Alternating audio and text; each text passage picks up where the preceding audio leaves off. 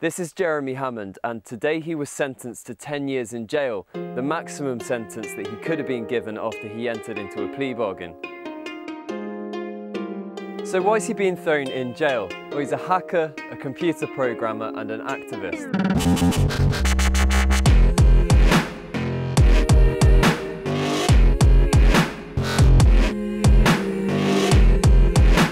And to many people, he's a whistleblowing hero. There was a campaign to have him freed and today the courtroom was packed with his supporters. But the prosecution in his case called him a computer hacking recidivist. They accused him of threatening public safety and the safety of law enforcement officers. It's one of those things that I never really understood. Why is it that the safety of law enforcement officers is considered separate from the safety of the public? It's a really weird us and them thing, but that's a different matter entirely.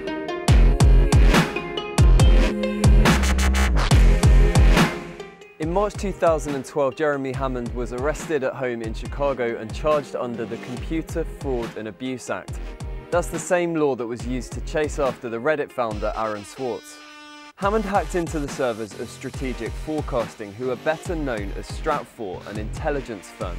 He deleted a load of files and stole 5 million emails before passing them on to WikiLeaks. Those documents contained tens of thousands of credit card details which related to Stratfor, and Hammond then urged a load of Anons to start racking up charges on the credit cards, not for personal gain, but to donate money to non-profit organisations. In total, they managed to put $700,000 on the cards. Hammond then told the Anons that he wanted to cause the company to collapse, to be pushed into bankruptcy.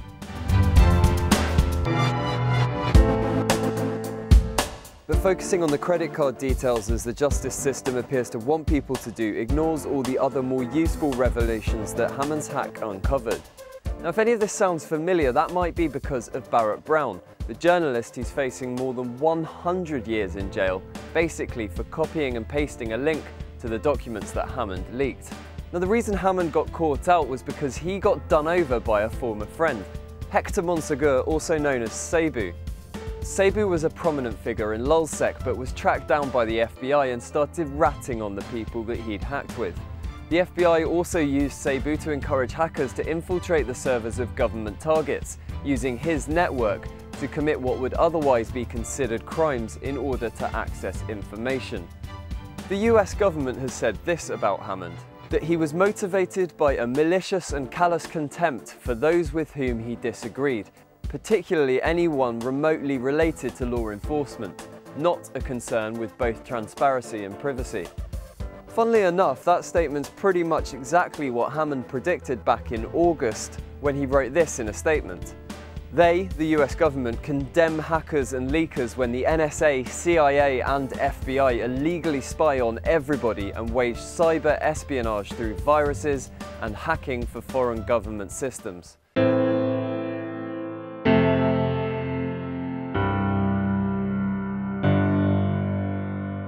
Now Hammond does have previous convictions for hacking. He got two years for breaking into a right-wing website.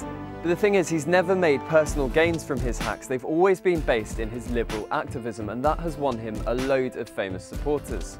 Richard Stallman called Hammond a fine example of a socially responsible hacker. Birgitta Jonsdottir said that in Iceland his actions would have been considered an act of bravery. And Chris Hedges said this, the security and surveillance state is creating a hermetically closed system of power. It's doing this by rewriting laws to subvert the constitution and to grant itself the ability to criminalise all forms of dissent. So what do you think? Is Jeremy Hammond a computer hacking recidivist or a brave, socially responsible hacker? Let us know.